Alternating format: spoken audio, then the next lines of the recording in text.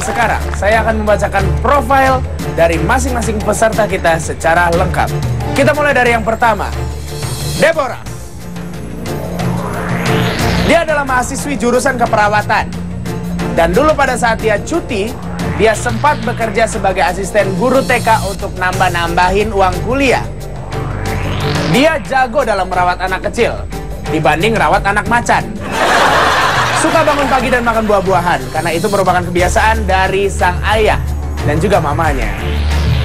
Untuk voters, lihat kembali apakah Deborah ini memang mirip atau tidak dengan dia Aristia. Saya akan berikan kesempatan untuk memilih tapi nanti kita akan lanjut ke peserta kita yang kedua. Yoyo Sunario. Peserta yang lebih akrab dipanggil dengan Kang Yoyo ini pekerjaan sehari-harinya sebagai buruh tani dan juga sebagai penyanyi kolingan kalau lagi ada hajatan ya. Dia ngefans sekali dengan Bang Krisyanto, makanya dia berusaha tampil seperti Krisyanto, bukan Chris John. Nah, Bang Krisyanto atau Chris Yoyo ini memiliki cita-cita kalau seandainya dia menang di asal, uangnya akan dipergunakan untuk membiayai pengobatan istri tercintanya dan juga kembali menyekolahkan anaknya agar tidak putus sekolah. Itu dia tadi peserta kita yang kedua, Bang Yoyo Sunario. Kita lanjut peserta kita yang ketiga, Intan Sofi. Wanita cantik yang satu ini termasuk wanita yang penuh keberuntungan. Dia mengantar temannya casting, kemudian dia ikut casting juga dan akhirnya dia yang lolos. Pernah juga diminta jadi model dan juga karena pada saat itu dia mengantar temannya untuk pemotretan. Dan juga sekarang dia berharap supaya keberuntungannya kembali datang di acara ini sehingga dia menjadi pemenang dan membawa pulang hadiah dari asal. Baiklah. Itu dia tadi ketiga peserta kita. Profil lengkapnya sudah saya bacakan. Dan sekarang untuk voters. Silakan memilih dari sekarang. Diingat kembali performance yang sudah ditampilkan oleh peserta kita. Kemudian dilihat kembali bentuk fisiknya. Dan juga diperhatikan lagi. Jangan sampai salah memilih. Ingat, pilihlah secara objektif. Voters kita ini terdiri dari anak-anak muda yang tentunya keren-keren abis dan juga goal dan yang pasti memiliki tingkat intelektual yang tinggi sehingga tidak akan asal dalam memilih. Ya, apakah Deborah, Kang Yoyo, atau Intan yang menjadi pemenang di asal episode kali ini?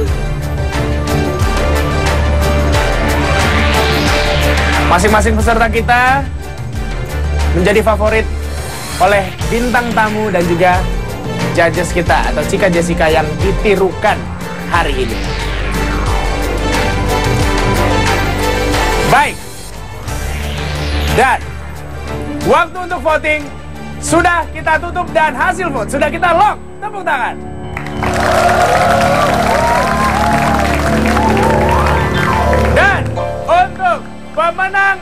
Asal episode kali ini adalah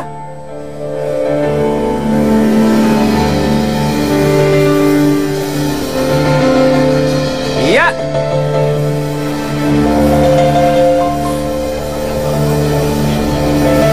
Apakah Deborah? Apakah Kang Yoyo atau Intan? Siapakah yang berhak membawa pulang hadiah dari asal?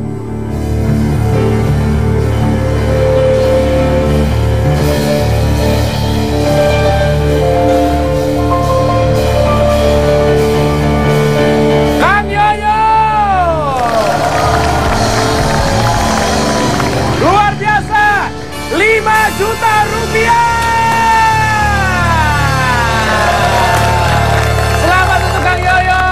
Mudah-mudahan uangnya bisa dipergunakan sebaik mungkin ya Kang ya. Terima kasih juga untuk Cika Jessica, Bang Krisyanto terima kasih, Tia Aristia terima kasih, Bang Bobang juga terima kasih penonton, terima kasih banyak ya.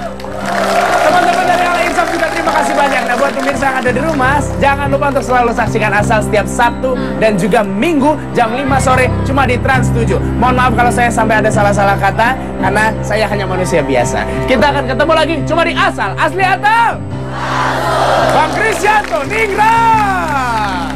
Mata dan kamu gak jauh beda dengan main loto Pakaiannya silsilah golongan darah ningrat atau umum. Biar otomu seneng Pak Lemu seneng Budemu seneng Mbakmu